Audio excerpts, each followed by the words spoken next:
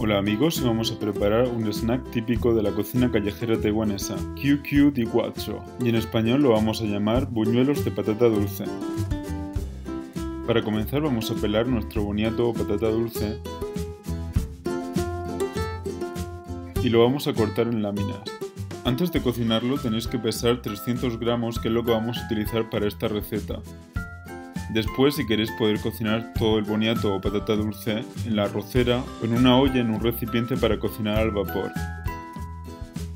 Tras haberlo cocinado durante 10 o 15 minutos es el momento de mezclarlo con el azúcar.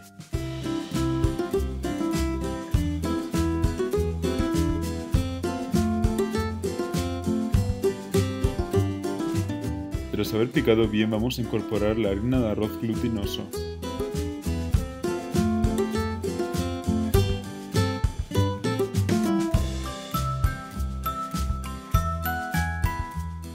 Tras obtener una masa homogénea vamos a dividirla en varias partes para facilitar el trabajo.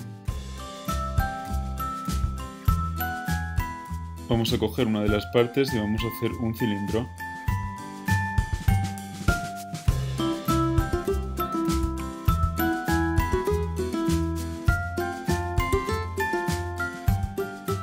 Y lo vamos a cortar en porciones de más o menos 3 o 4 centímetros. Tras haberlos cortado todos, vamos a hacer bolas.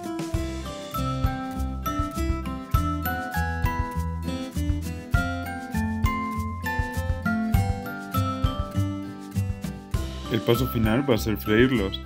Para ello vamos a utilizar el wok con abundante aceite. Os aconsejo que tengáis la temperatura del fuego medio-bajo para que no se quemen.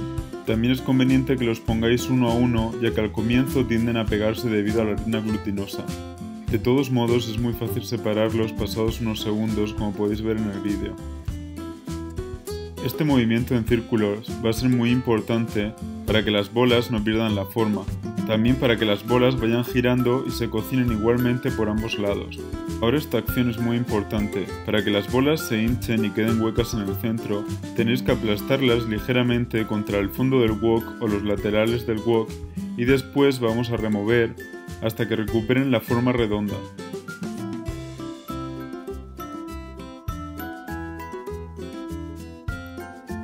Como veis han aumentado de tamaño.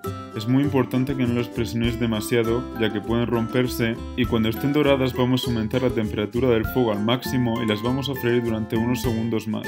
Y nuestro típico snack taiwanés está listo. Como podéis ver en el centro están huecas si os ha gustado esta receta, poner un pulgar hacia arriba y suscribiros a mi canal para estar al día con mis recetas. Bajo este vídeo podéis dejarme algún comentario y también podéis encontrarme en Facebook o en Twitter. Un saludo y hasta pronto.